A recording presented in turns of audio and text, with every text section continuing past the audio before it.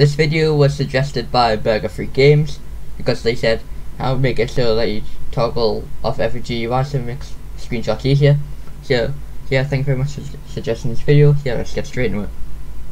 In this video, I'm going to teach you how to make a button where you can toggle the buttons at the top of your screen on and off.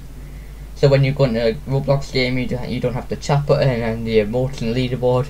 Disables all that. So if you want to take um, screenshots, you can just click this button and it gets rid of all those buttons. And then you can just click the button again, uh, and it'll turn the buttons back on. Alright, so let's get started.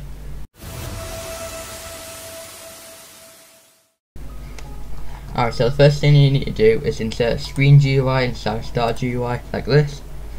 Then just give it a name if you want to, doesn't matter what you name it. Then just insert a text button inside of your um, screen GUI. It could be an image button, whatever, as long as it's a button. And uh, give this a name if you want, it doesn't matter whatever your name is, it's fine. And then uh, just insert local script. Um, but first I'm just going to customize the button, so I'm just going to place it on the in the middle on the left side of the screen like this uh, just customize it however you like it doesn't matter it's your button do whatever you like with it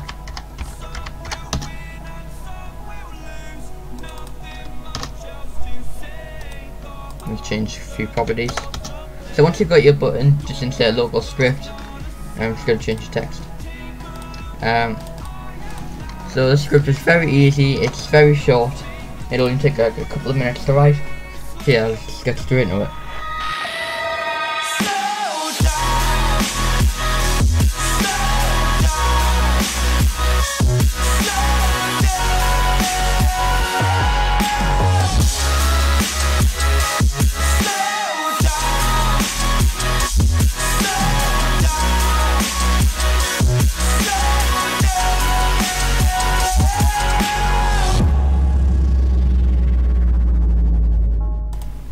Alright, so this script is done now. So if I just uh, click on play here and then test it out. Alright, it's just loaded in the game.